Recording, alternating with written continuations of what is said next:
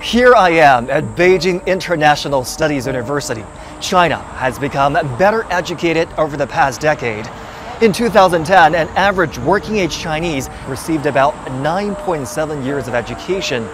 By the end of last year, that number climbed to nearly 11 years. In between 2010 and 2020, the country's illiteracy rate dropped to below 2.7% from a little over 4%.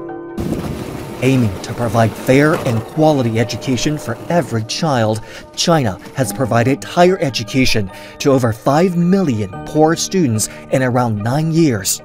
Many of them became the first in their family to earn a college degree. Meanwhile, students with disabilities attending special education schools have more than doubled over the past 10 years. To fund all of these changes, the government has increased its budget for education.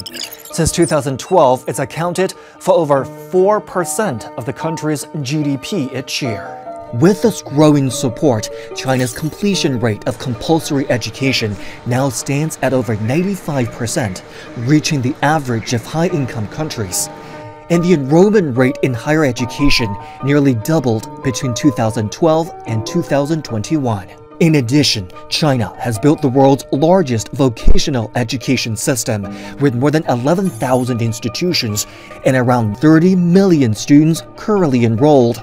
Those schools offer over 1,300 majors, covering nearly all sectors of the national economy.